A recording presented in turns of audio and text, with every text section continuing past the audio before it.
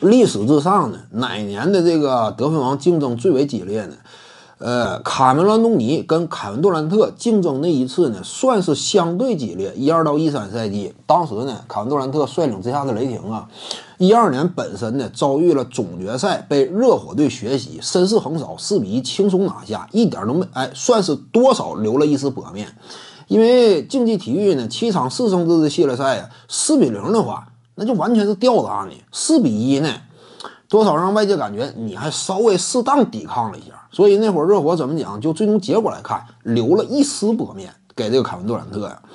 当然，杜兰特也是暗气暗憋，在走廊通道呢，也是痛哭流涕，抱着自己母亲呢。呃，或许那一刻呀，他要发誓，今后一定要向詹姆斯完成一番复仇。后来果然是做到了，通过加盟金州勇士的方式嘛。之后呢，杜兰特呀，二零一二到一三赛季呢，他就属于是什么呢？率领球队啊，想要当年呢就有作为。哎，与这个迈阿密热火再度纠缠较量一番，当时他就这么下的决心嘛。因此最后那一场呢，没打。当然必须得说啊，这个有时候他这个历史经不起细看。你说凯文杜兰特现在正如外界风评的那样，一二到一三赛季真是完全出于团队角度考虑啊，我才没打呀，我才主动放弃了争夺得分王啊，是这么回事吗？根本不是。其实你仔细一看，哎，不是这么回事为什么呢？因为最后那一场，杜兰特得砍下七十分才能够逆袭的。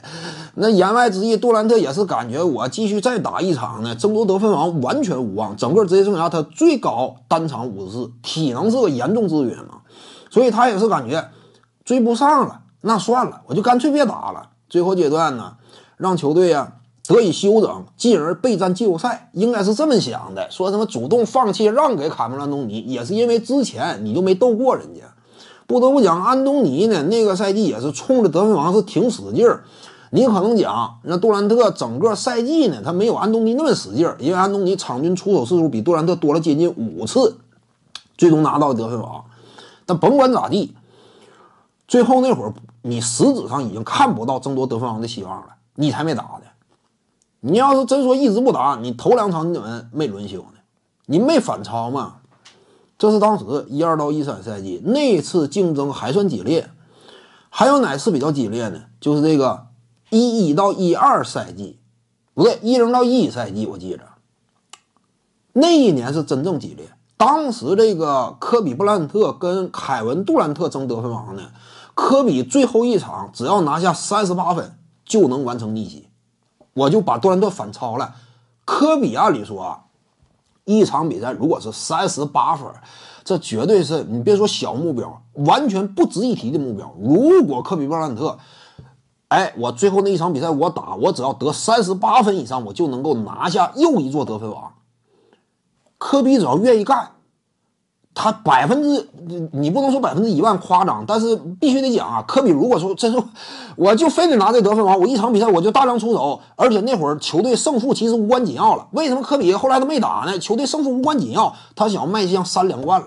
当时那会儿，一场比赛就差三十至八分，这么细微的差距就能反超，科比没打，这才是真正的高风亮节。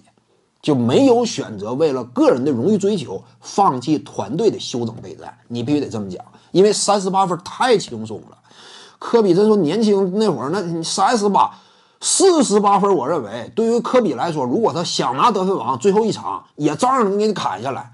科比，大量出手呗。科比原本他就出手次数就相对多嘛，只能说那个阶段科比呢成熟，相当成熟。那个阶段呢，那是真正的。与世无争了，就是个人荣誉，我不想再争夺了，就这种感觉。徐静宇的八堂表达课目前已经上线了，在专栏页面下您就能够找到它了。